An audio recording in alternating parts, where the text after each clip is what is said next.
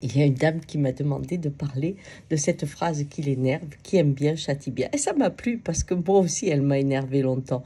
Quand mon père avait fini de me donner une rousse, il me disait Mais qu'est-ce que tu me fais faire?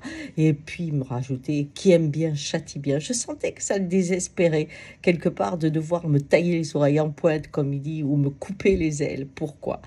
Parce que j'étais une fille rebelle et qu'il devait absolument m'éduquer comme une fille de bonne famille. Une fille qui se tient bien, qui soit raisonnable, qui parle pas fort, etc.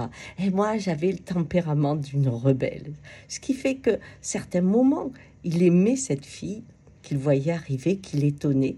Et dans d'autres, eh bien, il l'aimait assez pour la casser, afin de se dire, si elle reste comme ça, elle trouvera jamais personne, elle n'aura pas de foyer, elle n'aura pas d'enfant. Et pour lui, c'était vraiment important. Vous voyez, il y avait de l'amour dans le fait de vouloir me m'éduquer pour que je rentre dans le moule.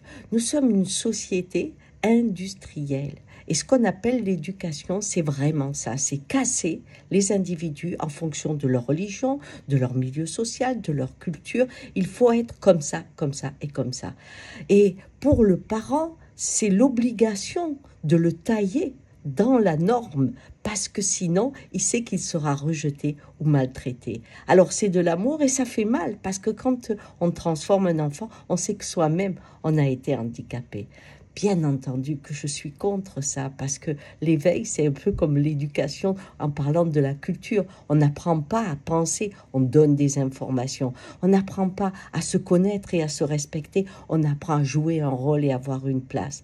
Ouais, c'est très important cette phrase. Et des fois, on a même dans les couples la même chose.